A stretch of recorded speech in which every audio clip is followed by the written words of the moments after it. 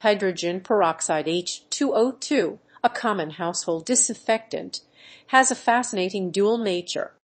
While it is known for its antiseptic properties, it also plays a crucial role in the body's wound healing process.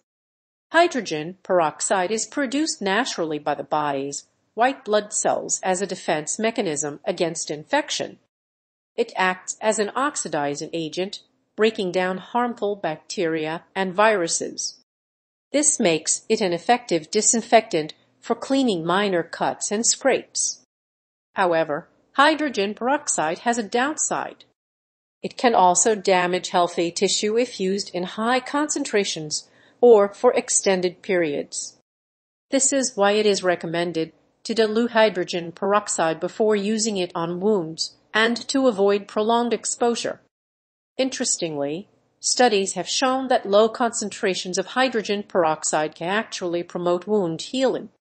It stimulates the migration of fibroblasts, the cells responsible for synthesizing new tissue.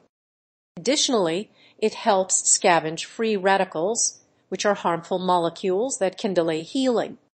One way to harness the benefits of hydrogen peroxide for wound care is through the use of honey. Honey contains an enzyme called glucose oxidase that converts glucose into gluconic acid and hydrogen peroxide. This natural form of hydrogen peroxide is gentle and sustained, providing a safe and effective way to disinfect and promote wound healing. In conclusion, hydrogen peroxide is a unique substance with both antiseptic and wound healing properties. When used properly, it can be a valuable tool for treating minor cuts and scrapes. However, it is important to remember that hydrogen peroxide can be harmful if used excessively or on deep wounds. For optimal results, it is always best to consult a healthcare professional.